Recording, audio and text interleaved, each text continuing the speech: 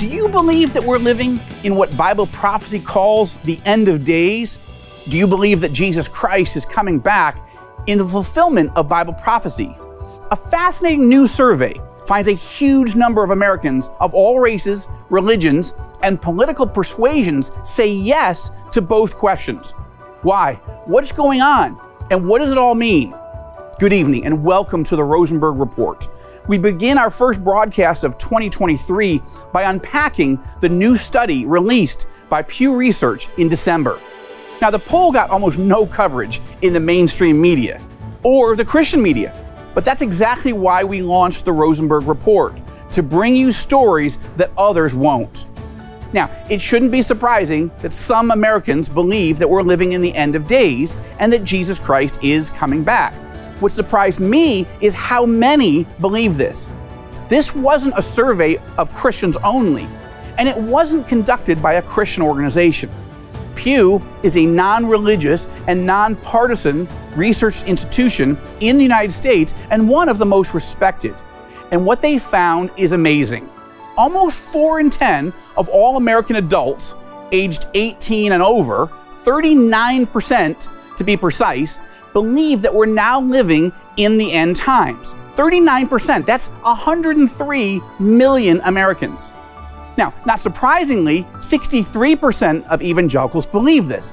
What is surprising is that 29% of Americans who say that they're from non Christian religions, like Jews, Muslims, Buddhists, Hindus, and others, they believe it too. 30% of Americans of no particular religion believe that we are in the end times. And that includes 9% of atheists and 14% of agnostics. 34% of white Americans believe that we're in the end times. So do 33% of Asian Americans, 41% of Hispanic Americans, and get this, 68% of African Americans. That's amazing to me. 45% of all Republicans agree that we're in the end times, but so do 33% of all Democrats. That's unbelievable to me. Yet all this raises two critical questions. The first is this why? Why do so many people believe that we're in the end times? The answer actually isn't complicated. Russia's invasion of Ukraine triggered the biggest land war in Europe since World War II. The death toll over the past year has been catastrophic. Upwards of 200,000 soldiers combined from both sides are dead, along with 40,000 civilians. And now, Vladimir Putin is threatening to use nuclear weapons. And President Biden is warning that Putin could set into motion Armageddon. That's Biden's words, not mine. Armageddon. That's what he said. And that's the biblical word for the end of days. Meanwhile, this biblical plague of COVID. Now, it's mostly getting better, but COVID deaths have just passed 6.7 million people worldwide. Inflation is surging, global economies are reeling, stock markets are tanking, and it's not clear that 2023 will be any better. With so much upheaval, should it really be surprising that so many people believe that we're living in the end times? The bigger question is are they right? Now, just over my left shoulder is the Mount of Olives. That's exactly the place where Jesus told his disciples that the second temple would be destroyed in a judgment, uh, a prophecy that came true just a few decades after Jesus said it, and no one believed him at that time. That's also Mount of Olives, right there, where Jesus' disciples asked him, So, when will all these end times things happen? What will be the sign of your coming, your return to earth, and the, of the end of the age? Jesus could have given them a very Washington political answer. No comment. Next question. Instead, Jesus gave his followers a detailed list of signs to watch for. One of those lists is in Matthew 24. Jesus said, You will be hearing of wars and rumors of war. See to it that you are not frightened. For those things must take place, but that is not yet the end. For nation will rise against nation, and kingdom against kingdom. And in various places there will be famines and earthquakes. But all these things are merely the beginning of birth pangs. Then They will deliver you to tribulation. They will kill you, and you will be hated by all nations because of my name. And at that time, many will fall away and will betray one another and hate one another. Many false prophets will arise and will mislead many. Because lawlessness is increased, most people's love will grow cold. But the one who endures to the end, he will be saved. And this gospel of the kingdom shall be preached in the whole world as a testimony to all the nations, and then the end will come. We get more details in Luke 21. Jesus said, There will be in various places plagues, terrible diseases spreading across the earth, and famines and great signs from heaven. There will be signs in the sun and moon and stars, and on the earth dismay among nations and perplexity at the roaring of the sea and the waves, men fainting from fear and the expectation of things which are coming upon the world. But when these things take place, when they begin to take place, straighten up, lift up your heads, because your redemption is drawing near. We get more details in uh, Mark chapter 13, where Jesus said, Now learn the parable from the fig tree. When its branch has become tender and put forth its leaves, you know that summer is near. Even so, you too, when you see these things happening, recognize that He is near, right at the door. Truly, I say to you, this generation will not pass away until all these things take place. Now, think about that list wars and rumors of war. Check. False religions, false prophets, false messiahs. Check, check, check. Soaring crime rates and lawlessness? Check, check. Terrible persecution of Christians? Check. Earthquakes? Check. Famines? Check. Plague spreading across the earth? Check. And the gospel spreading to every nation? It's not a full check, but check, you know, sort of a check. Look, that said, the parable of the fig tree may be the most intriguing of all these prophe- uh, prophecies on this list. Why? Because throughout the Old Testament, God uses the symbol of the fig and the fig tree as symbols of Israel and the Jewish people. What Jesus is saying is that when we see the rebirth, the reblooming of the state of Israel, and Jews returning to the promised land after centuries of exile, when we see all that happening all along with, in addition to all these other end time signs, then recognize that He is near, that His hand is right on the door, and He's about to re enter history. There's no question that we are living in what the Bible calls the end times. The real question is so what? How are you and I going to live differently in light of this extraordinary truth? Don't go anywhere when the Rosenberg Report returns. Joel drills deeper into the Pew study and reveals just how many Americans believe that Jesus Christ is coming back, possibly in our lifetime, only on TBN.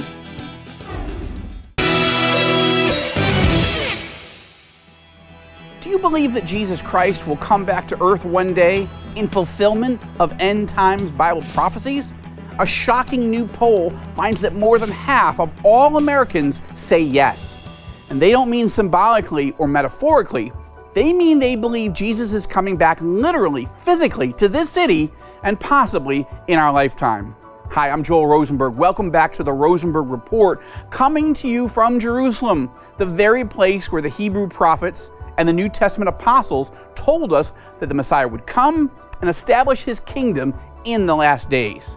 Now, let's drill deeper into that new study by Pew Research, one of the most respected research firms in the United States. The survey got almost no attention when it was released last December from the mainstream media, and barely any from the Christian media. But it's important. And what caught my attention most was this number 55%. That's right, 55% of American adults 18 and over believe in the second coming of Christ.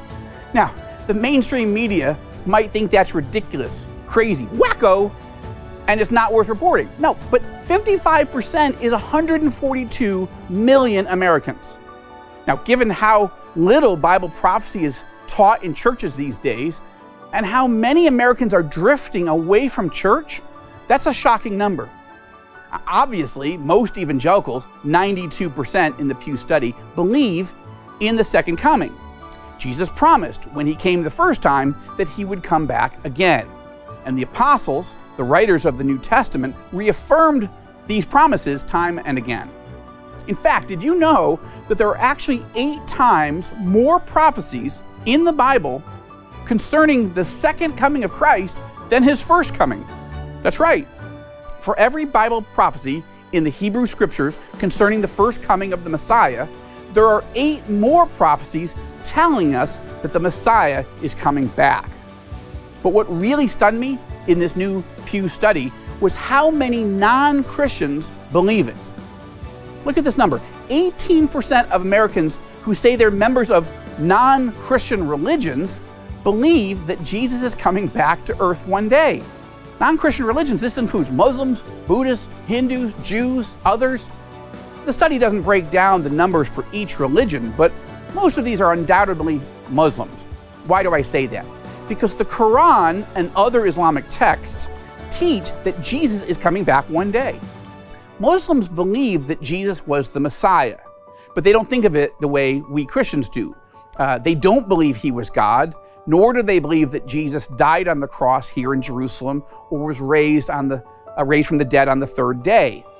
But while this may surprise you, devout Muslims are taught from childhood that Jesus is coming back in the last days of history, not as the Savior or the King of the world as we believe, but as the deputy, as the lieutenant to the one they call their Savior, the Mahdi or the 12th Imam.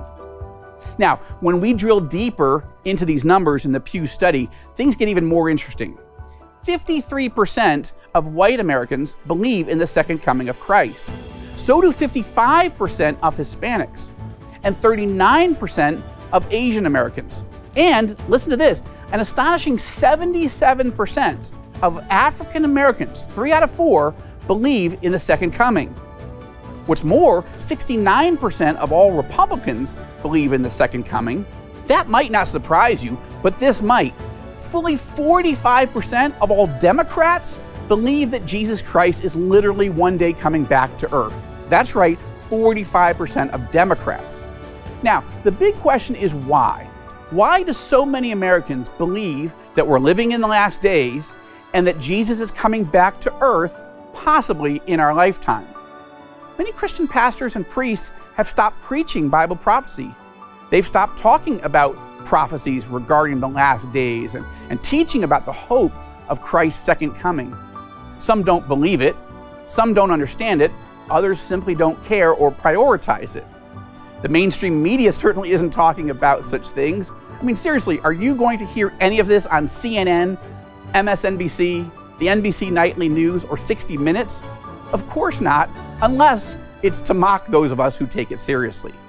And yet, a solid majority of Americans, 55%, tell pollsters that they really do believe that Jesus will return, even if they have no idea when. Now, some of this is the residue of what Americans were taught before they stopped going to church, before pastors stop preaching the blessed hope of Christ's return and the glorious kingdom that he will set up one day for those of us who believe. Yet I believe that the Holy Spirit is also stirring people's hearts to long for the day when the Messiah will return and make all things right. And this poll reinforces my belief that as this world spins out of control, many will be curious, many are curious to know what God says about the future and why it matters. They just don't know where to turn. And that's one more reason why we launched the Rosenberg Report. Because God doesn't simply want us to understand what's happening right now, He wants us to understand what's coming next. That's what Bible prophecy is it's an intercept from the mind of the all knowing, all seeing, all powerful God of the universe. It's news from the future to help us live with more courage, boldness, and holiness today. The mainstream media couldn't care less, but you do, because you know full well that if we're really living in the last days, and if Christ really is coming back soon to this city to judge the quick and the dead and set up his kingdom, then you and I need to be ready and found faithful. Coming up next on the Rosenberg Report, a Palestinian journalist hates Joel's latest book, Enemies and Allies. He trashed it in his review. Find out why and Joel's response after the break.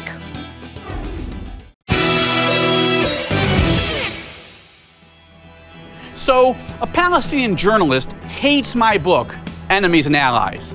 Now, you might think, duh, Joel, you're an Israeli, you're an evangelical. What's the big surprise? The surprise is that the article was written by a man whose bio says he's an award winning journalist, born to a Christian family. Yet his review typifies everything that's wrong with journalism these days. Daoud Kuttab is a Palestinian. He lives in Amman. He's entitled to his own opinions, but not his own facts. And almost every fact in his review is dead wrong. He writes while it's natural as an Israeli American that he mentions Israel 864 times, Egypt 446 times, Jordan 293 times, and Saudi Arabia 177 times, the word Palestine is mentioned only 13 times. What? I write about Palestine and the Palestinians 198 times. Kuttab accuses me of never mentioning the West Bank but rather using the religious Jewish settler term of Judea and Samaria. Actually, I specifically discuss the West Bank 14 times, Gaza 23 times. But yes, I use the term Judea and Samaria in the book. But Daoud, the term didn't originate with Israeli settlers. The term comes directly from the Bible. That's right, the Bible mentions Judea 51 times, and Samaria 117 times. In Acts chapter 1 verse 8, Jesus himself famously said, "You will receive power when the Holy Spirit has come upon you, and you shall be my witnesses both in Jerusalem and in all Judea and Samaria and even to the remotest part of the earth." So don't ask me to apologize for quoting the very words of Jesus Christ because I'm never going to do that.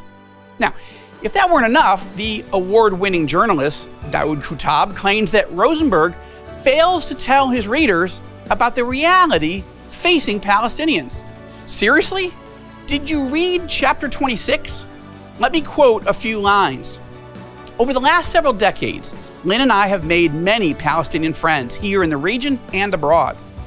While no Israeli can truly understand the pain the Palestinian people are going through today, Lynn and I empathize and pray faithfully for a way forward. After all, these brave, proud, remarkable, beautiful people have suffered so much in the past century. They deserve something vastly better, as do their children and grandchildren. Then, a few pages later, I wrote this I want to share a few thoughts about my friends and neighbors, the Palestinian people, who are enduring a painful tragedy that must not be ignored. And then, a few sentences later, not enough evangelicals will say this, but I will. God loves the Palestinian people. He cares about their plight, He cares about their future, and so must we. To turn a blind eye to the Palestinian people is morally wrong. To discount their hopes and dreams and fears and struggles is cold and inhumane. Two million Palestinians live in the Gaza Strip, three million live in the West Bank. Their lives and souls and fortunes and children and grandchildren matter. Okay, let's consider one more accusation. Kuttab writes What is further infuriating is that this Christian leader who lives in Jerusalem doesn't let his readers know that Palestinian Christians exist and mentions only twice the term Arab Christians. Daoud, really, I have to ask again did you even read my book? I write repeatedly about my love for and my visits with Arab Christians to hear their hearts, to learn more about their challenges, and to understand better how to pray for and encourage them. I write about my love for Palestinian Christians and how our ministry, the Joshua Fund, invests in them. In chapter 24, for example, I wrote this Aside from caring for my own family and friends and being a writer, investing in the people of the Middle East and strengthening the church in this region is one of the great passions of my life.